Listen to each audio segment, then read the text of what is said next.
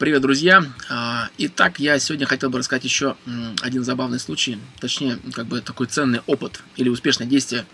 Вот, это работа в экстремальных условиях, то есть это Якутск, декабрь месяц, страшный холод, по-моему, 2012 год.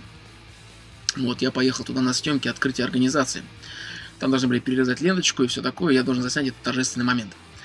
Вот. Ну и э, отправился, значит, первое впечатление буквально, знаете, когда вы с самолета выходите, вот, а приземлился я, по-моему, где-то то ли рано-рано утром, то ли поздно-поздно вечером. В общем, была темнотища на улице страшная. И вот дверь от самолета открываешь, и ты как будто бы заходишь, и тебя сразу азотом каким-то вот э, поливает. В общем, холод такой, что вообще, то есть ты три шага делаешь, у тебя начинает уже все вот так вот стекленеть, понимаете, вот. Я вроде бы хорошо оделся, там у меня были ботинки там какие-то нордфейсовские, американские, значит, минут, при минус 50 можно использовать, вот. Там пуховик я себе купил офигенный такой, знаете, черный такой тоже весь классный. И тем не менее, я уже чувствовал такую легкую прохладу, как бы, ну, с точки зрения уже начинал замерзать. Вот. Там такой, значит, это еще приземляешься на самолете, и там нет такого, что там к тебе там автобус подъехал, тебя там взяли, а вот просто пешком иди до, до ворот. Вот. То есть по чистому, грубо говоря, полю идешь пешком по ворот, до ворот. Вот. Ворота такие, знаете, за такой вот слой, короче говоря, иния на этих воротах, и выходит такой здоровый якут, значит, укутанный, значит, в, не знаю, сколько на нем одежда была, это капец, он как колобок такой выглядел. Вот. И такой скрипучий засов открывает, такой, и начинает народ выпускать. Выпускает людей, значит, мы выходим. И получается так, что ты попадаешь э, сразу на улицу, грубо говоря, вот уже город. То есть нет такого, что там далеко куда-то ехать или что там аэропорт. Вот. И стоим на улице и ждем. Э, минус 40 на улице где-то, не меньше было, да. Стоим на улице, ждем, значит, э, когда откроют эти чемоданы. Ну, то есть, когда чемоданы можно будет получить. Я звоню этому, значит, э, тот, кто меня должен был встречать, его что-то нету, блин. Елки-моталки. Представляете, на улице. Ладно, чемоданы открылись, вроде зашли там вовнутрь, это все, чемоданы получили, мне, все нормально. Приехал, слава тебе, Господи, этот парень, который меня встречал, а мы с ним отправились. Вот, э, поехали и сразу заехали, значит, в организацию, и я думаю, надо как-то снимать будет. А как снимать, вот, если такой мороз, как бы камера, она, ну, не предназначена по инструкции для в таких условиях, чтобы использовалась. Поэтому я так подумал, надо будет снимать какими-то урывками, наверное. Думаю, раз отснял, потом обратно. Но здесь э, проблема возникает. У тебя целая толпа народу, да, собралась отовсюду. И ты не можешь так, знаете, как снял, и типа, подожди, сейчас камера отогреется, я побегу туда, значит, э, в помещение, спрячусь там, ее буду греть, а вы пока постойте на улице. Вот, такого как бы нельзя, да? Соответственно, нужно что-то как-то придумывать, утеплять эту камеру. У меня сначала была идея, ну, просто какими-то тряпками там ее покрыть, как бы там, чтобы она вот, ну, так сказать, не, не успела, что ли, замерзнуть или что. Но это как-то все равно непрофессионально, да? Ну. И как решение нашлось, значит, очень интересное. Вот. Перед этим решением я еще все-таки расскажу этот случай сумасшедший, потому что это как бы интересно. В общем, остановился я на квартире, вот, на одной, а, жили мы с ребятами, и как бы мне попросили, говорят, ты выйди сейчас, э, открой просто дверь, потому что там кодовый замок, как бы, ну, входная дверь, да, ты ее открой, потому что сейчас машина подъедет там этот айол придет, вот, и как бы, чтобы он мог зайти. И я что-то как-то без задней мысли, а рано утром что-то так вот, ну, я в термобелье в обычном. Значит, на мне просто термобелье, я спускаюсь быстренько, значит, э, по коридору, ой, по этому, по лестничной площадке вниз, вот, и открываю эту дверь-то, э, так сказать, которая внутри находится. Вот там у них как бы подъезд, когда начинается, вот входная дверь, обычно и еще вторая дверь бывает, да, тут маленький предбанничек, вот, ну, как бы у вас в обычных, да. У них а, в Якутске предбанник, он, наверное, раза в три больше. То есть обычного предбанника. Между входной двери в подъезд и второй двери, которая тоже идет в подъезд. Вот. И получается так, что я эту дверь открываю, которая э, в подъезд вход, да, сам. Открываю ее и хочу, захожу в предбанник, чтобы открыть ту дверь, которая на улицу. Она вот как раз таки кодовая. Вот. И толкаю ее, открываю, да, и здесь получается такая вот какой-то момент, э, то есть происходит э, обратная тяга, и вот эту дверь, которая вход в подъезд, ее захлапывает. То есть я в одних кальсонах остаюсь вот в этом предбаннике. На улице минус 50 градусов. Вы представляете себе? Я закрываю эту дверь, а предбанник он никак не отапливается. То есть, ну вот в предбаннике, ну может минус там 45. То есть как в хорошем, так сказать, морозильнике, морозильной камере, не знаю, там И вы знаете что, здесь такая возникает как бы паника. У меня с собой нет мобильного телефона, чтобы позвонить в квартиру и сказать спящим ребятам, что, ребята, я здесь застрял, как бы, и откройте, пожалуйста, дверь. Так? Я не могу выбежать на улицу, потому что я в одних тапочках и в кальсонах, которые там, ну, то есть вообще не греют фактически, да? И вот я в этом предбаннике. И а, когда приедет эта машина, она тоже как бы неизвестна. То есть она не то, что она приехала и стоит. И вот этот момент я начинаю реально замерзать. У меня, вот, как бы, понимаете, во-первых, паника страшная. Потому что что делать? Вот, орать тоже тебя кто там услышит, блин. Вот. И начинаю замерзать. Начинаю замерзать, э, вот, как бы съеживаюсь вот так вот, да.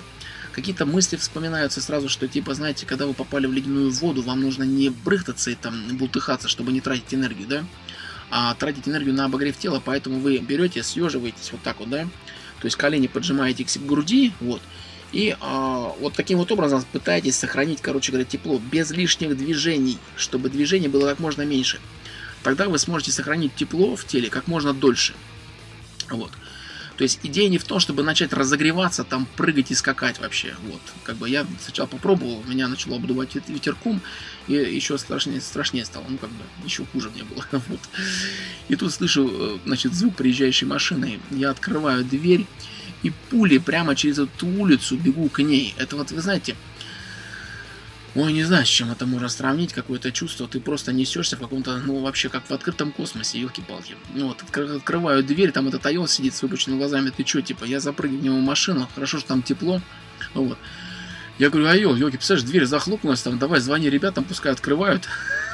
Вот, а он как раз мне привез там какие-то ватники. Ну, то есть я его попросил потеплее одежду, потому что если мы там будем ходить бродить, то я в своих этих кальсонах как бы не выдержу. Привез как раз мне какие-то ватники, вот я их одел ватники, там телогрейку здоровенную вот в этой машине. И вот вышли. Но это то, что касается вот типа человека, да, человек, который попал в такие вот условия, допустим, да.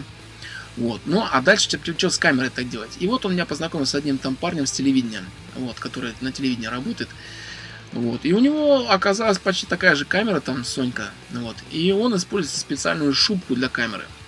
То есть а, специально для таких условий продаются специальные такие шубки. Ну, то есть типа чехол защитный, да, и он как пуховик, он такой толстенький. В нем также существуют кармашки. И в эти кармашки вставляются а, солевые обогреватели.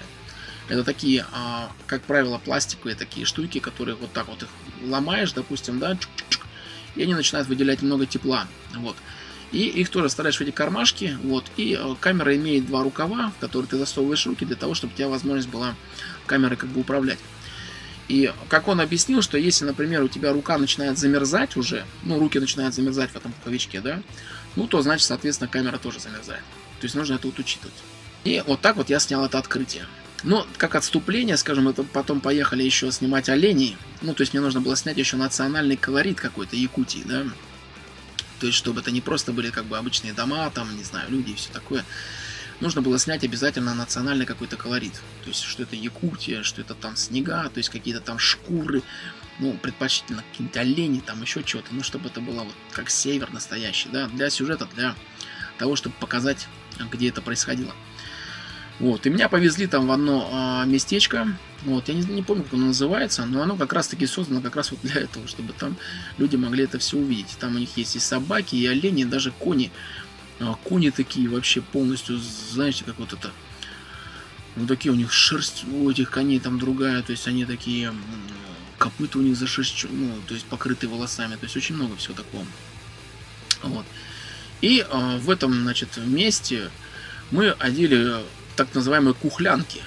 Кухлянки это просто якутская вот эта вот национальная одежда. Она э, сделана из настоящего, значит, этого меха, а, северного оленя. Ну, и как оказалось, мех северного оленя является самым теплым мехом. Я выяснил почему. Оказывается, там э, он состоит, это не просто волос, да, а это микротрубочки. То есть это трубочки. Волос имеет полую, так сказать, вот эту, ну то есть они внутри полые и получается как трубочка. И каждый волос, а вот эта трубочка, она нагревается, грубо говоря, она сохраняет тепло. Вот. И вы представляете, реально, я одел, вот буквально у меня была, значит, футболка, ну и свитер такой, значит, вязаный, да. Я на него одел эту кухлянку, вот. Потом штаны тоже их не одел, тоже из этих вот, э, значит, этого меха. И одел вот эти вот э, унты. И унты, самое примечательное, они без, так сказать, подошвы. Что это значит? Они полностью из меха сделаны.